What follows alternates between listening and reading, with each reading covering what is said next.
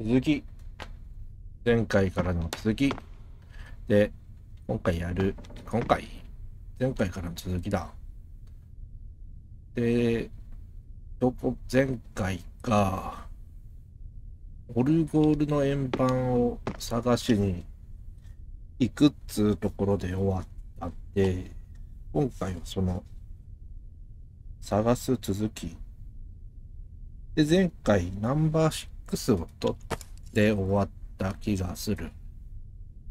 そうだね。ナンバー6。ボイボイス・オブ・ザ・ソウル。というやつを取ったから、今回は残りの2つ。1と3。1と3を手に入れて、あのー、なんだ、機械室か。機械室。機械室で発電機を動かすんだっけ？さて、あの肉の怪物は今どの辺にいるんだろうね。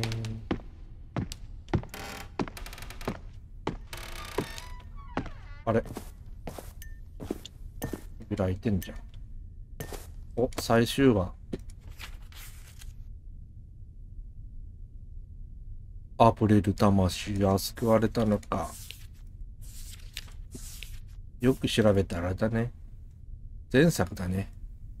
エムローって。なんだ信じたくないが今言われている自分の状況を考えると、あ、しまった。あ、しまった。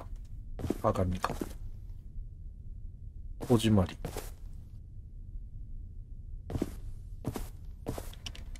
あれ？かない。あれ？なかった。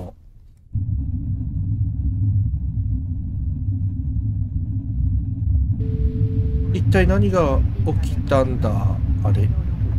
何？今日午前5時頃、SE 村の旅館、朝五郎に、大勢の人が乱歩されている。ことえ？前作。あれがおしん様か。前作。あおしん様マスク。おしんのお面。あ開いた開いた。前作。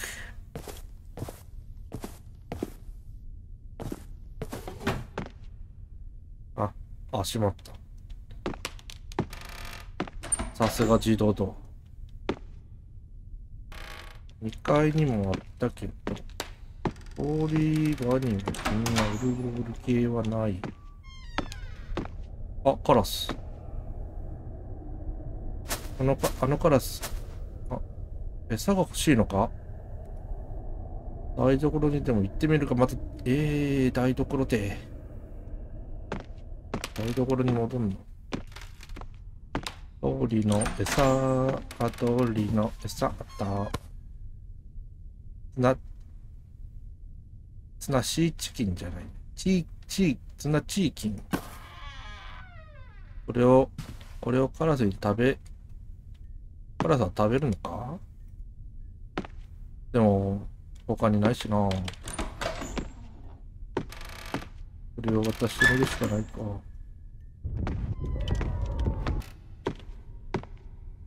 近くにいた。よっしゃ、カラス。餌だぞ。ほら。これでよん喜んでくれるといいが、後でまた見に来よう。あ、これじゃねえ、もしかして。あった、ナンバーワン。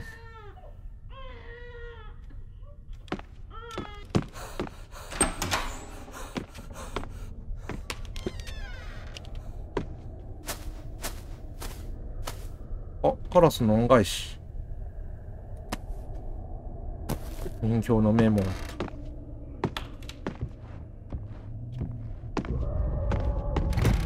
隠れる。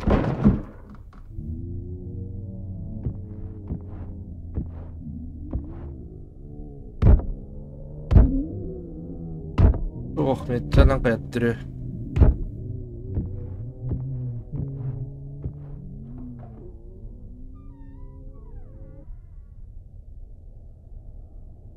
ほんと出ても大丈夫？よし。待ってろよあ、はい、じゃああなたの目ん玉。笑った？あ。笑いこけた。これでよかったのだろうか？ええー、本当によかったの？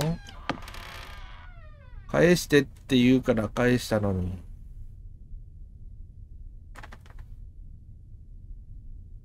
なんかまた、トロフィーというか実績出たけど、何か変わってんのこれで。えで、なんか手に入ったわけでもない。おい、ナンバー3のディスクをくれるんじゃなかったの？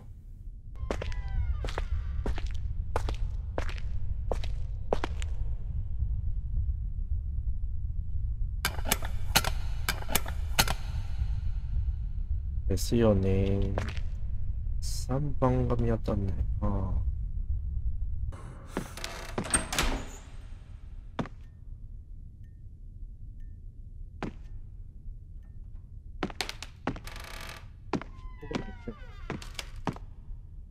あった。気づかんかった。あれ？カラーバー。カラーバー。カラーバー。危ねえ。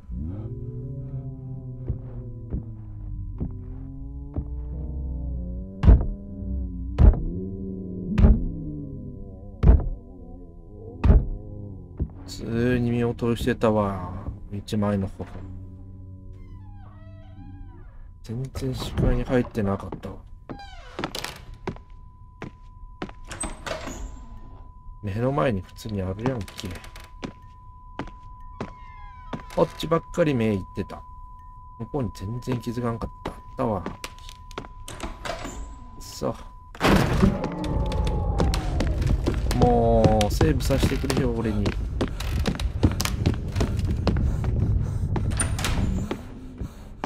まあいいや。まあこれでようやくナンバー3手に入った。あんだけ探してただ見、ただ単に見落としてただけっていうこの悲しさ。隅々まで調べてたと思ってた俺の浅はかさ。悲しい。八道保存。そっち？入った。えー、入った。セーブポイント。自動保存入ったからいっか。あ、冷凍庫だ。この冷凍ストッカーに遺体の一部を保存していたのか。こんなところに秘密の部屋が。わあ。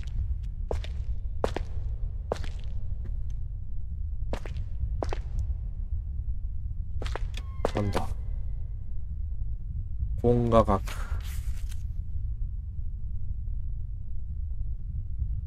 また実績解除した。韓国の石原が感づいている。地下機械生何してるんですかとヘラヘラ笑っていた。やばい。ああ、なるほど。年末休暇に書いたら改めて会いたいと言われた。これでは探られたらまずい。で帰ってこなくなったのか。健吾誕生日おめでとう。言いたいことがたくさんあるよ。石原。あ、勘ぐってた石原ばらされてるもしかして。あ、そうだ。勘ぐってきた石原。ばらしてストッカーに入れてる。僕ら男性の心臓だ。できるだけ若く状態のいいもの。岸見様に捧げないと。いや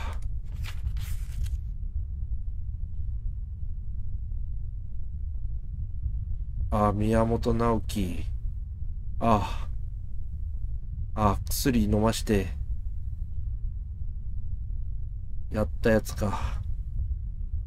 この母親が再捜査を依頼してきた人か。依頼してきた人の息子やべえ、委員長。で、あの、肉塊というか、この辺が重要。儀式まであと少しだが、登るの箱は開かず、何に使うのかもよくわからないままだ。古文書には死んだ者の歯とあるように読めるけど、伊佐子と健吾の歯が必要な必要なのだろうか。少し引っかかるが、どうやら、登る章の箱は儀式の終わった後に使うようだ。私にとっては二人と話せる、話せるのはそれでいいし、それが全てだ。もし高齢したものを昇天させる仕掛けなのだとしたら、そんなものは知らなくていい。は？石原は委員長が殺したのか？一気に進展した。この事件。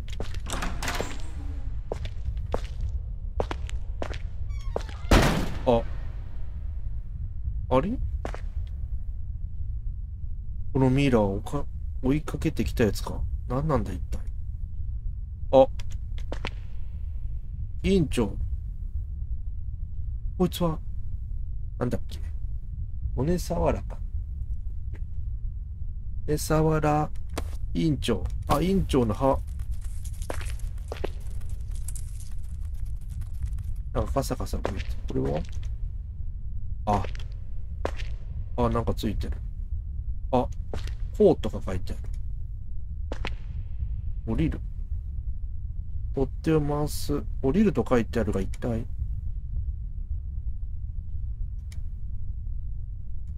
試しに回してみるか。どうせセーブしてるし。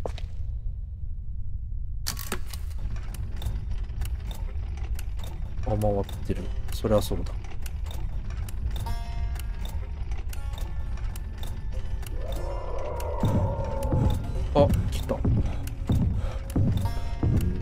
結局あの、登るっていう箱が必要なんだから、ここでは無理だよな、どう考えても。あ、別エンドか。これで、バッドエンド。真相には近づいたけど、この、法令で下ろしたやつなのかわからないが、こいつをどうにかしてないから、一つ目のエンド。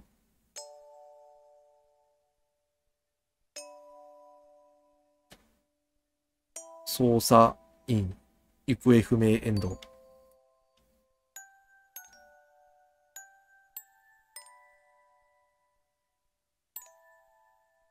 一つ目のエンド、これで回収したぜ。回収したぜ。自動セーブしてるから。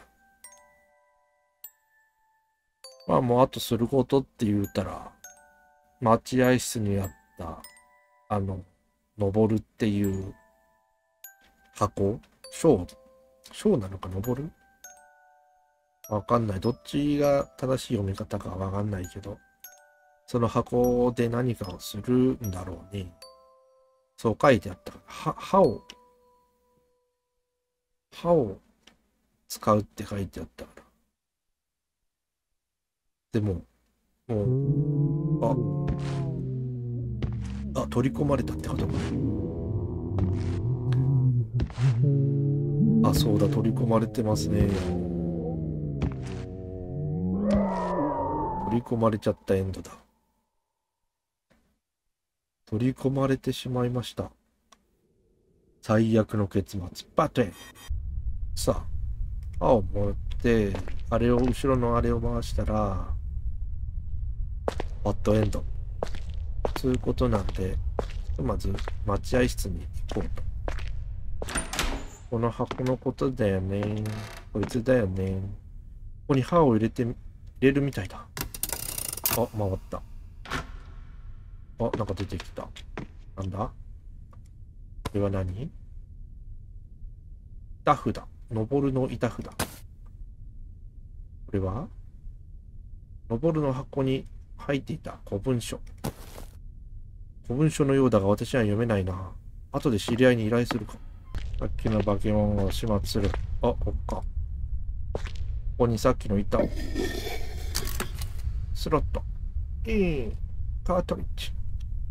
これでなんか文字変わってる。あ、登るに変わってる。登る助けて。登るに文字が変わったようだ。焦点ってことじゃあ焦点させてよう。させよう。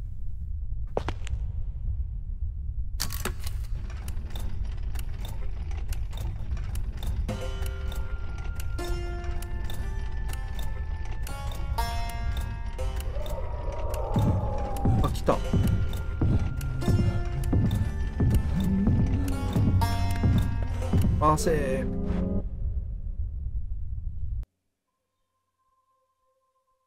え？ー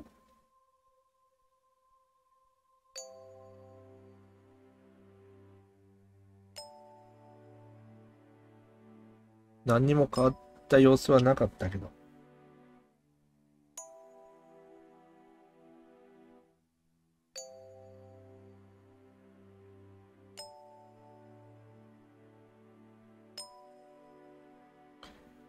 なんか変わったのか。でも、登るに変わってるってことは何かしら変わるんだよな、きっと。でも今の、今のシーンを見る限り、何も変わってないように見えるんだけど。あ、この後か。このエンドロール、エンドロールの後、まだ取り込まれちゃってる映像が出るのか、出ないのか。それ次第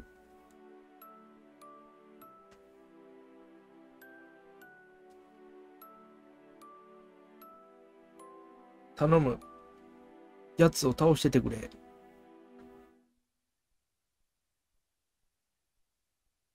どんな縁だあ、変わった。夜明けが近い。もうじき山の際が赤く染まる。無線で連絡を入れると、どっと疲れを感じた。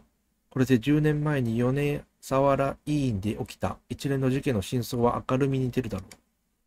この場で何かがあったのかもしれない。後日、あの箱の中に収められていた書物について有識者のつてをたどって解読してもらうことができた。今画学。それは数百年前の呪術道具らしい。権力者たちが覇権を争う中で鬼神に生贄を捧げることで、大敵を、大敵を呪い殺さんと生み出された、曰く月物、曰く月も、月のものら、維新隊だっけもう忘れちゃった。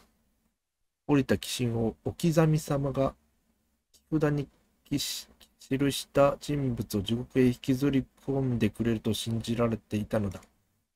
やがてあまりの能力、の呪いの強さから悪霊の暴走を恐れた構想によって、技術は封印される。ひっそりと沈められ隠されてきたはずのものが長い年月の中で記憶や文書権が散見し、骨董品として市場に出てしまったのだろう。米沢原委員長はきっとこの今画学を黄昏帰りの器具と思い込んでいたのだ。菊田には委員長の病死した家族の名前が書かれていた。受殺の大衆がすでにこの世にいなかったため行き場を失った置きざみ様が呪詛返しとなって高齢者である委員長の命を奪ったんだろう。なるほど。さまよえるに置きざみ様になったの。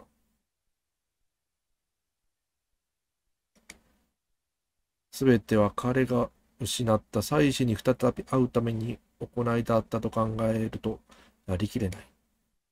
宮本の母親には私の体験し知ったことのすべてを伝えた。飲み込めんのそんなこと言って。そうでしたか。先にそのアンティークを見つけたのが私でなくてよかったのかもしれない。そう言って彼女は深く深く頭を下げた。さあ、これから忙しくなる。委員での出来事をすべてを上に信じてもらうのは難しいかもしれないが、私はで私にできることがあるはずだ。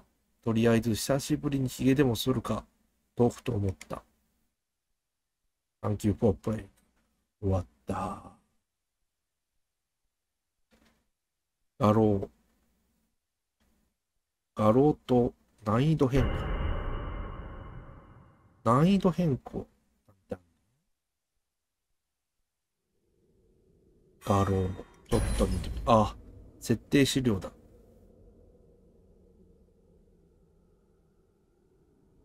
刻み様。オルゴールだ。あったな、そういえばこんな絵も。だった。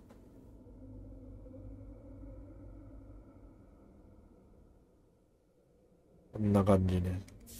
刻み様。刻み様。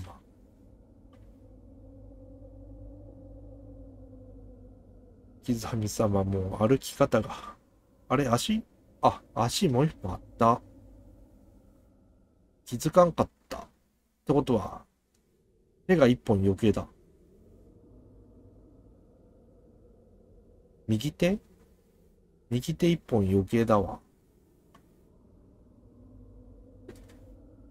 で、逆立ちしながら追いかけてきた。それはそれで怖いな。逆立ちしながら追いかけてくるのは。ということで、米沢原病院。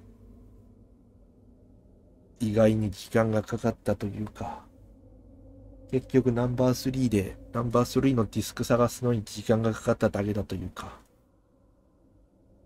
一番びっくりしたのはナースっていう、看護婦っていう、3、3回出てきて3回ビビった気がする。うん。まあね、やってみてもいいんじゃないか。非常に面白くて、非常に怖くて、楽しかったです。ね、ホラー苦手な人は廃墟探索。廃墟探索やって、やれば、ホラー要素がないって言ってるんで、あの、この病院内をくまなく探索してみてはいかがでしょうかということで、胸沢原病院でした。ありがとうございました。